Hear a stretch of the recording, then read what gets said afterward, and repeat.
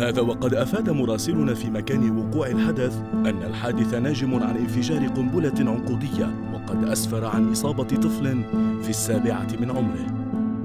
MAG is a UK-based organization whose vision is to build a safe future for women, uh, men and children. And this is why we believe there is no job specifics for men or for women and we encourage everyone men, women, youth, person with disability to be part of our mission and so that we can enable, empower uh, all communities member and so that no one is left behind.